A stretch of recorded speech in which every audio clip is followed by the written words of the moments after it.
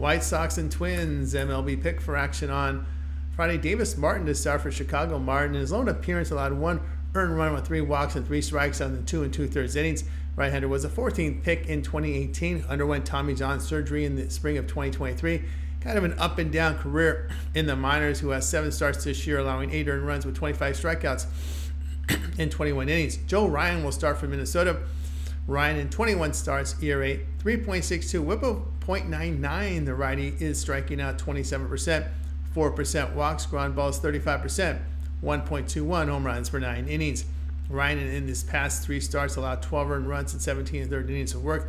Minnesota 6 and 7 in their past 13 home games. They are 23 and 17 as the home favorite with a minus 3.67 loss. The team marked behind Ryan 10 11 and minus 4 unit loss. Play Chicago run line plus one and a half runs here at plus 115.